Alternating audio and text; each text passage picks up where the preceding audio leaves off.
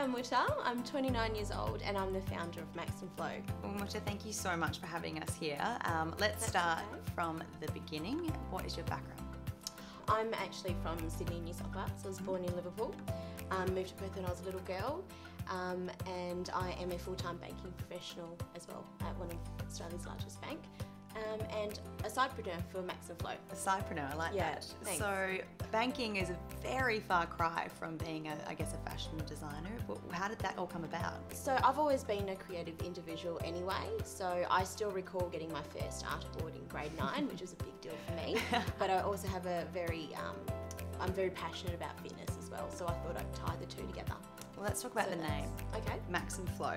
Yeah. Correct me if I'm wrong. Yeah. Is it to do with maximum strength and, and flow and yoga, like a, a balance of the two? Yeah, you're pretty spot on. Yeah. So when it comes to fitness, I do believe in those aspects, those two, and you really should find a healthy equilibrium. So, um, you know, Max and Flow is, is a niche activewear label that um, focuses and, and appreciates both li- uh, high and low impact workouts. So So you can sweat in it, but you can also do yoga, in and, and chill exactly in it. right. Yeah. and what about the actual design as well?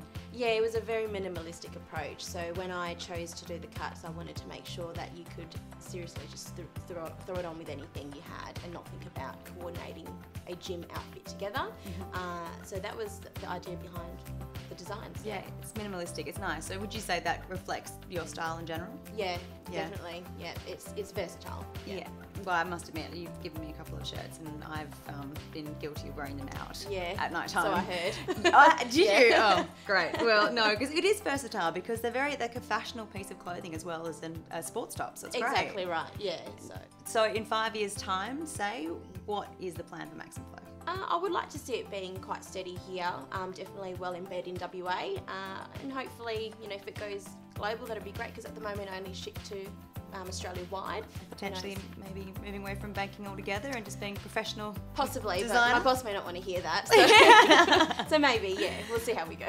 Now, one last thing I want to ask is it's very cool, Max and Flow, you've also got M and F, male and female. It all ties in quite nicely. Does that mean maybe you might have a male range coming out soon? Definitely. Uh, I've had a lot of men ask when or where is the men's range, so it's definitely on the plans um, to do. So hopefully by the end of this year, if not early next year. So watch the space.